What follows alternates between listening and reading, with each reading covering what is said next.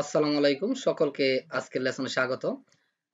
শিক্ষার্থী বন্ধুরা, দুই সালের এসএসসি পরীক্ষার্থীদের ইংলিশ সেকেন্ড পেপার দশম সপ্তাহের যে অ্যাসাইনমেন্টটি দেওয়া হয়েছে, সেই অ্যাসাইনমেন্টের সমাধান করে এখন আমরা দেখাবো। তো চলো শুরু করা যাক। তো সমাধানটি দেখার পূর্বে আমাদেরকে অবশ্যই প্রশ্নটা দেখে নেওয়া উচিত। তো চলো প্রশ্নটা দেখে নেই। ডিফারেন্সিয়েটিং সিবিস অ্যান্ড রিজিউমস এই বিষয়টা আমাদের ক্লিয়ার করতে হবে। তো প্রথমে আমাদেরকে সিবি এবং রিজিউম এই বিষয় দুটি খুবই সুন্দরভাবে ক্লিয়ার করতে হবে, তারপর আমরা এটার পার্থক্য করব বা ডিফারেন্সিয়েটিং করব ওকে তো চলো শুরু করা যাক। তো শিক্ষার্থী বন্ধুরা টাইটেল অফ দা অ্যাসাইনমেন্ট হচ্ছে ডিফারেন্সিয়েটিং সিভিস অ্যান্ড রিজিউমস তো প্রথমে আমরা সিবি নিয়ে আলোচনা করব। তো সিবির মধ্যে কভার লেটার লিখতে হয়। তো সেই কভার লেটারটি হচ্ছে এরকম। The manager human resource department ACI pharmaceuticals limited subject applying for the post of an executive sales that is এখানে যে কোম্পানিতে আমরা অ্যাপ্লিকেশন করছি, সেই কোম্পানিটার নাম এখানে দিতে হবে, অর্থাৎ অ্যাড্রেস হিসেবে তো তারপর আমরা যে অ্যাপ্লিকেশনটা করব, সেটা এরকম একটা নমুনা অ্যাপ্লিকেশন আমরা এখানে দিয়ে দিলাম সা in response to your advertisement in the Daily Star dated on 3rd February 2022 for the post of an executive sales. I'd like to offer myself as a candidate for the post. My enclosed curriculum vitae would prove that I'm a deserving candidate for the post. I therefore pray and hope that, considering my educational background, skillness, and experience, you would kindly select me as a candidate for the post. I am looking forward to having an interview with you. Sincerely yours, Jahangir Alam enclosures a complete CV that is এখানে যার নাম যার যার নাম এখানে আমরা লিখে দেব। এখন একটা সিবি কীভাবে লেখা যায় সেই বিষয়টা আমরা ক্লিয়ার করব। তো কারিকুলাম বাইটি তো প্রথমে এখানে দুটো আমাদের ফটো এখানে সংযুক্ত করব। তারপরে name Jahangir Alam father's name Nuri Alam mother's name Sharmin Akter অর্থাৎ যার যার যে নাম মাদার্স এবং ফাদার্স নেম সেগুলো এখানে লিখব। প্রেজেন্ট অ্যাড্রেস এটা যার যার প্রেজেন্ট অ্যাড্রেস লিখব, এখানে আমরা একটা নমুনা প্রেজেন্ট অ্যাড্রেস দিয়েছি। টোয়েন্টি ফাইভ ধানমন্ডি, ঢাকা তোমার যেটা, সেটা তুমি লিখে নিবে। পারমানেন্ট অ্যাড্রেসও একইভাবে তোমরা লিখে নিবে। মোবাইল নাম্বার, তোমার যার যার মোবাইল নাম্বার লিখবে, আমরা এখানে নমুনা, একটা নাম্বার দিয়েছি।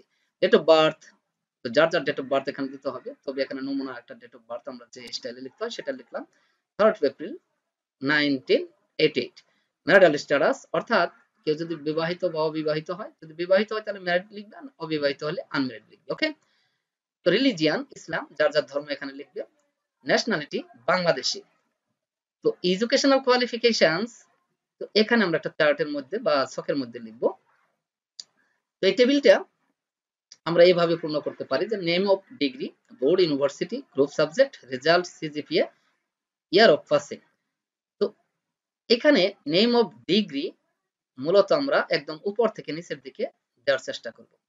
তো এমবিএ রাশিয়ান ইউনিভার্সিটি এইচআরডি ছিল main subject R result CGPA three point six seven out of four year of passing two thousand fifteen in the same way BSc honours in math Dhaka University mathematics সাবজেক্টের নাম three point seven eight out of four two thousand fourteen HSC Dhaka board science A plus two thousand ten SSC Dhaka board science A plus two thousand eight এ হচ্ছে আমার educational qualification এর যে table সেটা এখানে উল্লেখ করা হয়েছে। তো next experience sales officer in Eskayef pharmaceuticals limited from two thousand sixteen to till date অর্থাৎ এখন পর্যন্ত সেখানে আমরা, আমি এই পদে কাজ করছি।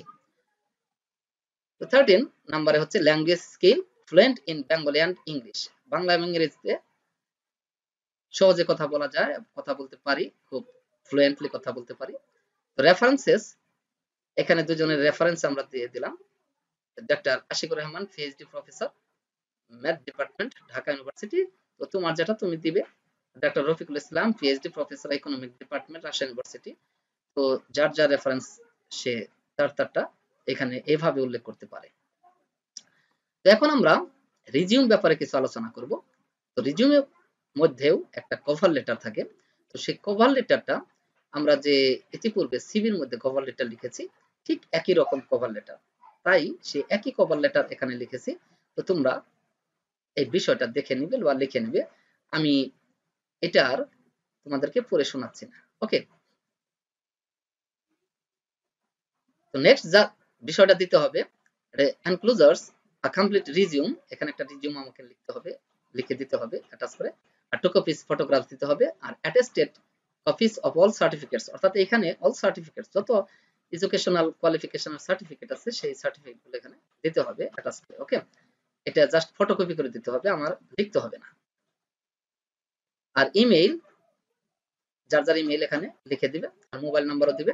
অবজেক্টিভ হচ্ছে to build up career in the field of sales in a reputed company তো এখানে যে বিষয়ে, অর্থাৎ যে ফিল্ডে আমরা অ্যাপ্লিকেশন করছি অবজেক্টিভটাও সেই ফিল্ডে দেওয়াই সমীচীন। তাহলে যে কোম্পানির লোকজন থাকবে, অর্থাৎ যারা পরীক্ষা নিবে, ভাইবা নিবে, তারা অ্যাপ্রিসিয়েট হবে ওকে তো experience sales officer in Eskayef pharmaceuticals limited from 2016 to till date আজ পর্যন্ত আমরা কাজ করছি। আর এডুকেশন এখানে MBA 2015 Rajshahi University BSc honours in math 2014 Dhaka University achievements best sales officer award in 2018 of SA pharmaceuticals company limited অর্থাৎ, এখানে 2018 সালে বেস্ট সেলস অফিসার হিসেবে পুরস্কার পেয়েছি। Other training computer course 2014 spoken English course 2015 language fluent in Bengali and English. Okay, personal data, interest in reading books, story writing, and traveling. তো এখন আমরা দুইটা বিষয় ক্লিয়ার করেছি এখন এই দুইটা বিষয়ের মধ্যে কি কি পার্থক্য বা ডিফারেন্সিয়েশন আছে সেই বিষয়গুলো উল্লেখ করব তো ঠিক আছে আমরা ডিফারেন্সিয়েশন বিষয়টা অর্থাৎ পার্থক্যগুলো কি আমরা দেখে নিই একটা টেবিলের মধ্যে আমরা বিষয়গুলো উল্লেখ করলাম তো প্রথমেই থাকবে বেসিস ফর ডিফারেন্স তারপরে থাকবে কারিকুলাম ভাইটি এবং reason basis for difference that is পার্থক্যের ভিত্তিগুলো কি যেমন definition a document containing informations related to individuals post qualification competencies skills and achievements is called cv আর another hand resume a resume is a document having details of an individual's education, work experience, competencies, and previous job achievements. Okay. Next হচ্ছে size of document এই সিবিটা হবে comprehensive and রিজিউমটা হবে concise that is এটা একটু বড় ধরনের হবে আর এটা খুবই শর্ট হবে এটাইমোলজি সিবি এই ওয়ার্ডটি এসেছে Latin word which means course of life আর রিজিউমটা এসেছে ফ্রেঞ্চ ওয়ার্ড থেকে উইচ মিনস সামারি অর্থাৎ খুবই সংক্ষিপ্ত রূপ। রেফারেন্সেস এটার মধ্যে সিভির মধ্যে ইনক্লুড করতে হবে, আর রিজিউমের মধ্যে ইনক্লুড করতে হবে না।